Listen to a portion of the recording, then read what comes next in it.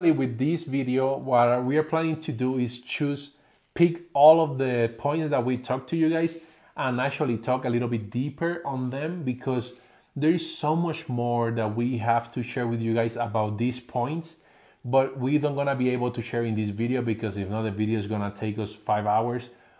But we're gonna be sharing more specific details about each point that we share with you guys in this video and it's very very very important information that you need to know before you actually move there. Hello blessed people. My name is christian. And i'm nicole. And this is chris and nick youtube channel. Thank you for watching and welcome back to our channel. And remember we are blessed to be a blessing. Today we're going to be giving you guys our top 10 reasons why you should never live in puerto rico it is crazy. We really, really, really like Puerto Rico a lot. But we really also dislike Puerto Rico a lot. In many ways. Puerto Rico have a lot of things to improve, but a lot is a lot. We're gonna be giving you 10 reasons, but there are plenty of reasons why you should never live in Puerto Rico. But we're gonna give you the top 10 that we have in our list. And there are some things that are not in our list, and I know it's in Nicole top reasons why you should never live in Puerto Rico. But we're gonna talk about that in different videos. Reason number one, razón número uno. Uno. Is the cost of living.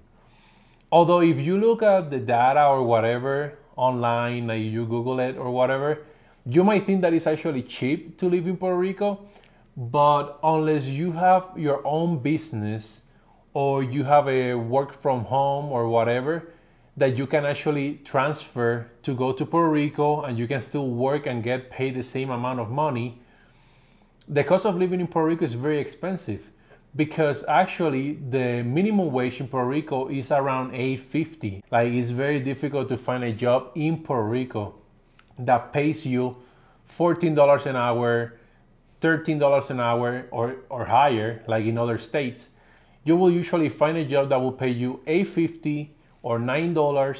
There are some places that are paying 11, but that is very rare to find, and most people are applying to those jobs. So it's very hard to find those jobs and get them. When you compare the how much money you make with the cost of living, it is very expensive, extremely expensive. To the point that right now most of families there, most of the couples there that are trying to buy a home, they are not approved to get a home because what they get paid is not enough. So the banks right now are not even giving loans to people to get their property. So there is a big, big amount of people that are just living renting because they cannot afford to buy a house. Another thing to keep in mind is that not only is the cost of your home pricey in comparison to what the livable wage is in reality. But the groceries and the gasoline prices are comparable to the states. And so we understand that there are plenty of states here that have similar um, minimum wage as well and the cost of living in homes, etc. But you just need to keep in mind that Puerto Rico is an island. It's not connected to the mainland. So things are way more pricier because of the fact that there are charges added for transportation costs overseas. And not only that, the quality of food that you're receiving is the bare minimum. It's not organic, it's not grass fed, it's not the high quality, nutrient rich foods. It's literally the most basic mass produced produce that you are receiving at high market price. Yeah, you, you have the opportunity to find some organics and some grass fed produce but it's also even if it's organic and all of that it's not the same quality as how it is in the states. Mm-mm. it's sad but it's the truth. And that leads us to point number two. The second reason as to why you should not move to puerto rico is because of the job opportunity. It is honestly super scarce. There is not many opportunities at all. And if there is you have to speak spanish and or have connections within that employer because they're not going to just receive any type of person. They are very selective and you definitely would need to have a higher education just because of that environment. And so we highly recommend, like we mentioned, have your own business, work from home, have something that's stable before you move to the mainland. And if you have children, make sure you are setting them up for success.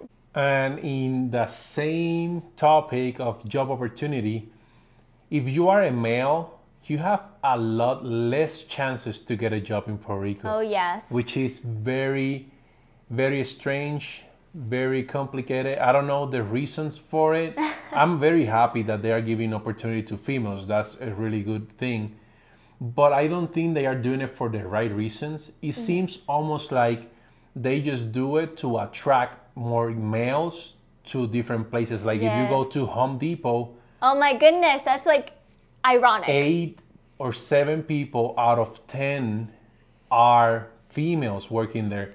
And it's okay if they're females and they know what they're doing, but a but, lot of time you ask them and they don't even know what you're talking about. Mm-mm. But the reason why they hire, I this is what we think. It definitely is the reason. There's no other way around there it. There is usually males are the one doing the constructions in the house or commercial places. And they have females there so they attract males to the place to go more often and spend more money. And it's very sad i mean because that's not the reason why you should hire a female. You should hire a female because she's effective and productive in her job but not because you just want to attract more people. So just with that if you are a male um, it's going to be a little bit more complicated for you to find a job and if you're a female well, you make sure that you speak Spanish. Reason number three is the government. The, the government in Puerto Rico sucks. Like, big time. I know the government almost everywhere is horrible. Here in the States is a mess. Everywhere is a mess. But the government in Puerto Rico is a joke. Yes, while we were there, I'm just going to share this little yeah. insight just a few months in, I was seeing how horrible it is that I told my husband and his family that I plan to run for governor or mayor yeah. because of how stressful and disappointing it was to experience it just not only as a local for his family but also as a foreigner who is going there excited to move there and then you're just introduced with something that's just not organized at all the government is just very corrupted. Probably 98% of every person that is in the government, all the politicians are 100% corrupted. They are very bad. They are stealing the money that the United States send there for education. They are stealing the money for help. When there is a hurricane, they're stealing money left and right. They don't care for the people. They don't care for the island. They don't care to fix anything. They just run for a position just to get rich, get money. Greediness. Yeah, be comfortable, and that's it. It's, it's sad, but the government in Puerto Rico is one of the worst government I ever seen. Mm-hmm. And it's very, very sad to say because I'm from Puerto Rico, but there is nothing good about the government in Puerto Rico right now that I can say. It makes me so sad just like talking about this. Like it makes me want to cry because the Puerto Rican community is so lovely, but obviously the government plays a huge role in your quality of life because you have to deal with things that are legal in your day to day as you live. So it also affects you to a certain extent. But the sad thing is also that, yeah, it's sad for the people, but the people are the one choosing them. like there are other options, but they always pick and choose the same people, the same two parties, and that's it. They just go with those two whoever is running, whatever they are offering, they just believe the lies and they always vote for the same people. And the results of that is what we see. The fourth reason as to why you should not move to Puerto Rico is because of how the government handles the taxpayers' money. This is obviously building on reason number three with the corruption. But for example, when you arrive to Puerto Rico, you are probably envisioning a luxurious tropical island but you are not introduced with that at all. When we arrived, I was shocked. I had high, high expectations for Puerto Rico. I had in mind that it would look like Spain because they were conquered by Spain, and I was thinking, you know, it would be super nice, super luxe, and just so beautiful and so much rich history there. But there isn't. There may be just in San Juan, but throughout the rest of the island, of course, there's other national um, places that you can visit that do have rich history. No doubt about that. But the communities, the plazas, the roads, the construction sites, everything is poorly managed and your taxpayer money is not being seen at all. You see, even the schools are just old and run down. They are not updated, they are not modernized, they are not well maintained. And as you're driving from the airport to your destination, it's just not a pleasant sight. But definitely there are far worse places. Just don't have high expectations and don't compare it to because if you do and you have that set in your mind, you're not gonna be pleased at all and you'll regret right away moving to Puerto Rico. Yeah, you're gonna be seeing like the road is super messed up.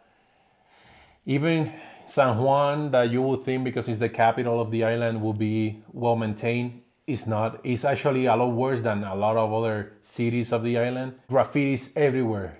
All the buildings are have graffitis. They can be in use or they can be just abandoned buildings. The grass super like tall oh, in Oh, yes. many areas you have to be very careful when you're driving because there are holes in the road in like every whatever every mile you're gonna find plenty of holes everywhere not just on the secondary roads but also in the main roads and like highways. It's very messed up. They they don't take care of the infrastructure of puerto rico at all. The lights like the the light poles in the road you can see 20 of them and only one of them is working. It's very very messed up very poorly managed to be honest with you guys And those are things that can easily be fixed. So we're not being dramatic or exaggerating the situation. It is truly what you will also experience when you are living in Puerto Rico. So keep that in mind. and for reason number five we have education the education in puerto rico is the worst education in the whole nation You think so? it is But it's strange because there's a lot of college graduates. it doesn't matter the, Okay. the from kindergarten all the way to high school they are the worst in education in the nation in math in those like sat or whatever mm-hmm. test puerto rico was the last one on math Oh, this past year it's Oh horrible. Not just that is that there is kids that are already in eighth grade ninth grade and teachers when they come to their grade teachers are realizing that these students don't even know how to read. So it's like it's horrible how the students are like careless because there are a lot of students that don't care at all. They just want to be artists they just want to be a, a rapper or whatever they don't care about school but there is also a lot of teachers that are horrible. Like how you can pass a student that don't even know how to read just mm. just because you don't want him in your class anymore then you quit. If you are a teacher and you don't want this student in your class that you're over him let me just pass it. No you quit then. You quit and then a teacher that is willing to teach the student the right way he can take your place. But the teachers are doing a really bad job. There are teachers that are super good and they are really like they really love what they do. They love to teach the student the right things. But there are others that don't care at all and they are just there to get paid which is actually a very very poor pay that they are getting mm-hmm. very bad wage. But the education in puerto rico is one of the worst in the entire nation and it, it is in every aspect. The buildings the school the this everything the system is all broken. It's really bad. The schools are, mess, are all messed up. Students are needing to bring their own toilet paper to school because there is no even toilet paper in the bathrooms. Yeah, so there you go. The reason that we were talking about with taxpayer money, it's not going towards what they're saying. And one thing I want to just mention too despite majority of the island possibly having you know really bad education but there are many new institutions being built on the island from expats and local native puerto ricans who are changing the atmosphere of education. So don't look at it like you have no hope for your children just because you are planning a move to puerto rico.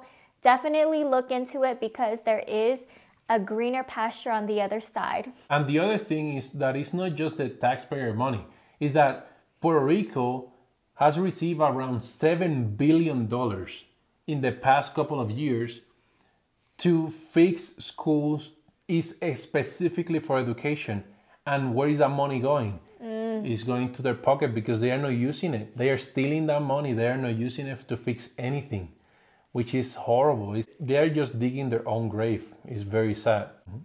And the sixth reason as to why you should not move to Puerto Rico is if you like things to be done fast and furious, you will not receive that in Puerto Rico at all. When we moved to Puerto Rico, I obviously needed to change all my legal documentations like my ID and such. So we had to book an appointment to go to the DMV or the MDV and it literally took forever. It was like the worst experience of my life. I was just saying how ridiculous it is because Puerto Rico's a territory of the US and you would assume that things have been modernized and technology has been implemented, but no way, Jose.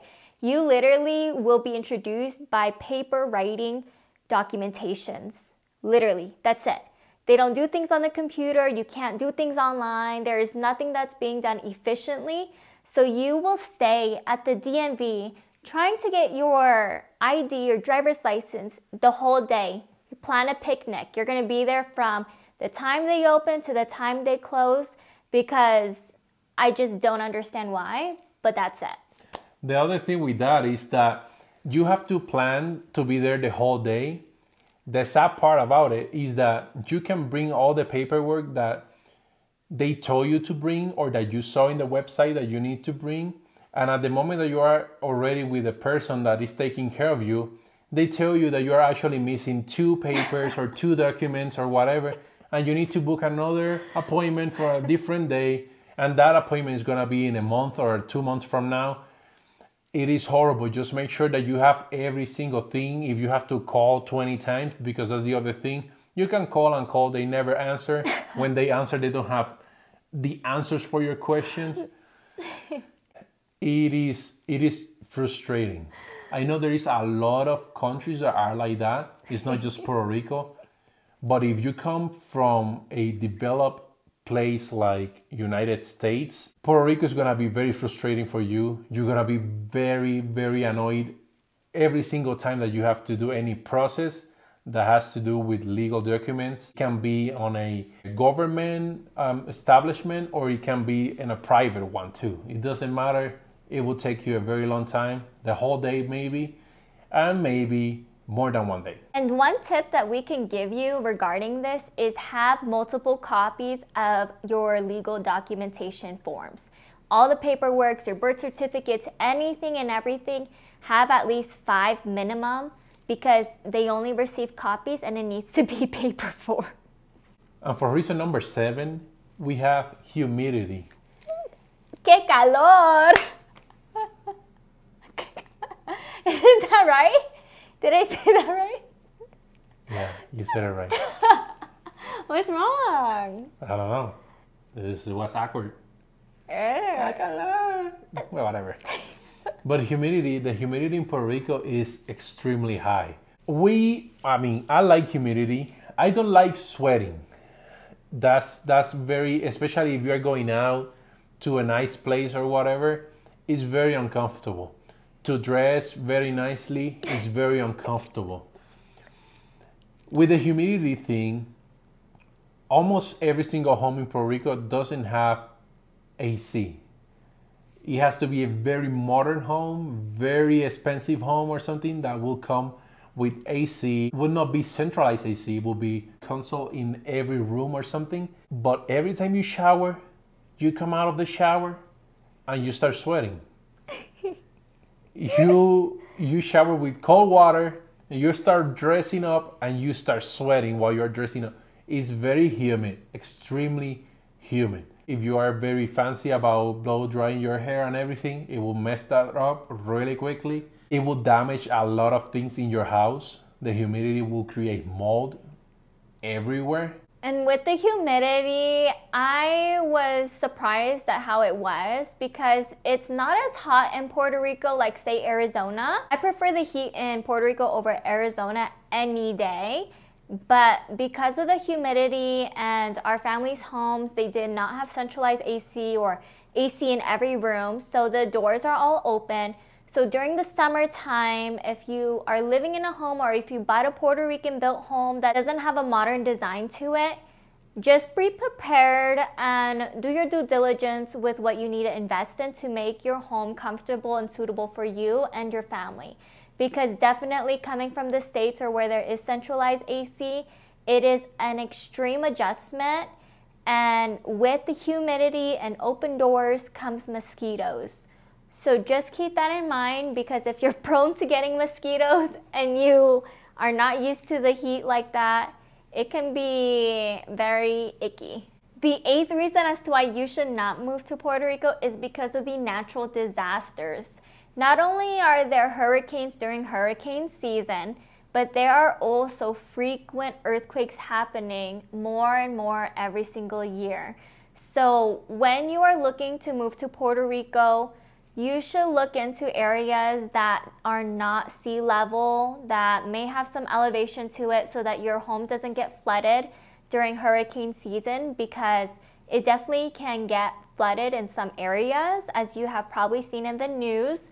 And if it's not in an area that may get flooded because it has a slightly higher elevation, your street may be flooded for a few days, but obviously your home is at risk.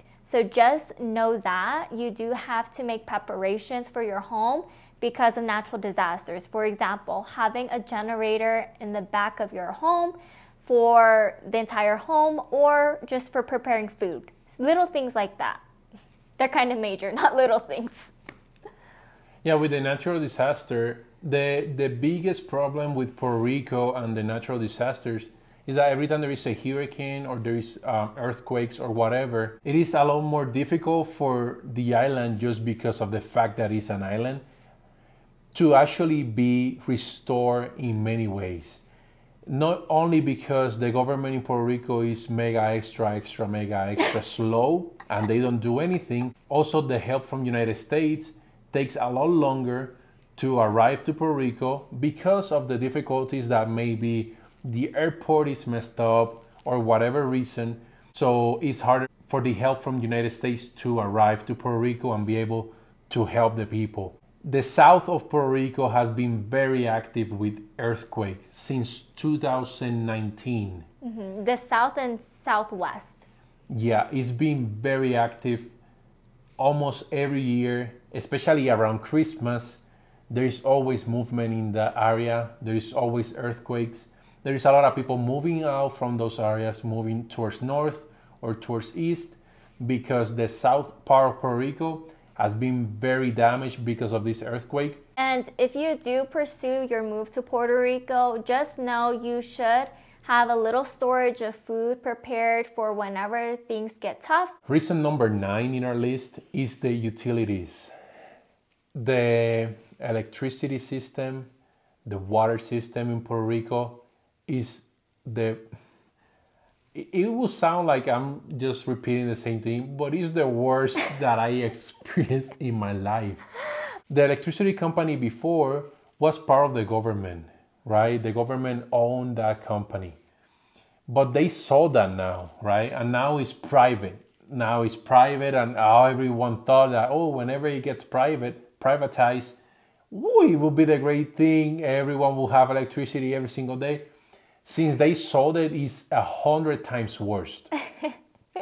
Before, if there was a natural disaster, there would be problems with electricity for months. But now, even if there is, it can be completely sunny and nice, and the light will be like the electricity will just go out. The company that owns the electricity company now is called Luma, and I think they are on the investigation and everything because they are such a horrible company because of maybe some corruption happening there. And since they got in there, everything started going backwards instead of progressing. The electricity is bad, the water system is bad. I remember mm-hmm. one time we had a farm in Puerto Rico when we were over there. And I remember one time I was moving our chickens from one area to another. Nicole was working underwater. She was washing the, the little waterer. And at one moment I was walking and I start passing by Nicole and I look at her and she was with the hose looking down and crying, but crying like she lost someone. And she's there crying and I look at her, I was like, baby, what, what happened? Why, why are you crying? And she was like, the water, the water. And when I looked, at the hose was just throwing like little dots, little the the host was just throwing little drops of water. True story. So, I kid you not. I was crying for a long time because I was just saying and thinking to myself like I was thinking of scenarios that we didn't even have. Like I was like, imagine if we had kids. How would they shower? How would we feed them? What if our chickens they don't all, like they don't get their water? They will all just die. Like I was just going overboard because of how ridiculous it was. And it honestly happened a few times in Puerto Rico when I was brushing my teeth and then the water stopped and I was just like, oh my gosh, yeah, I need it, a water bottle. Yeah, it will always happen in the in the in the worst timing. Like you will be showering, you will be full of soap everywhere, and the water will just stop coming out. Like just like that. So every time that you're gonna do something, especially if you have animals, make sure that you have backup. Yes, and with the water system, there's obviously systems here in the States that you can possibly contract to do your home in Puerto Rico for solar panels and for generators, and then for also the water system. So because it rains a lot in Puerto Rico, you can definitely utilize the rainwater, have that purified and cleaned, and that runs for your entire home. It is a costly investment, but if you do plan to live in Puerto Rico comfortably without experiencing any of these interruptions, then do that. If not, don't move there. The 10th reason as to why you should not move to Puerto Rico is because there is no nightlife. Like obviously in San Juan, that's a tourist spot, and so you will have little bars here and there that are by the marina. Other than that, it isn't like some place where you would go, hey, let's go to the club because everyone's there and it's completely safe. No. Just go to the bar, grab your drinks, or go to the beach with your resort that you paid for but there's nothing else more to it. And with that comes very limited open spots in the evening. There are not many restaurants that are open 24 7 or late at night. So you have to get your food.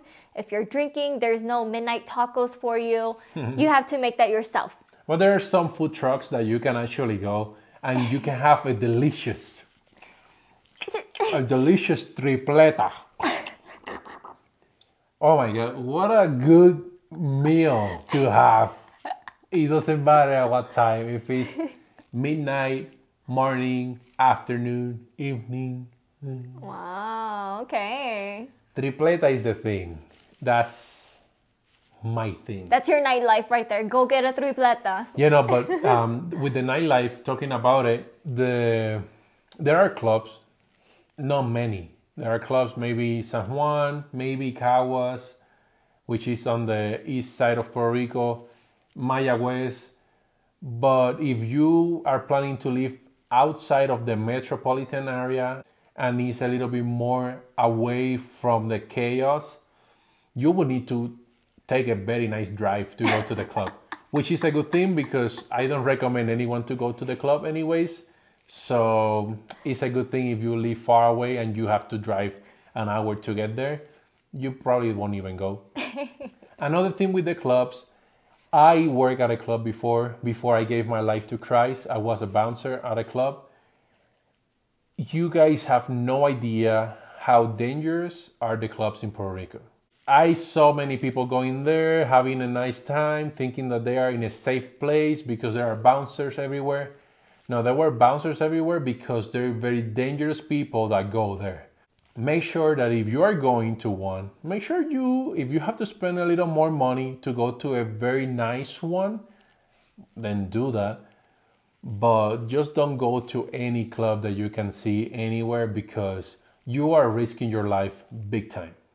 We're gonna give you guys a bonus one. Actually, we're gonna give you two bonuses. Two bonuses. One okay. of them is language. You need to learn Spanish, or you just need to surround yourself with people that just speak English. Because although Puerto Rico is a, is a United States territory, a lot of people don't speak English. Many people don't speak English, especially mm-hmm. the older generation.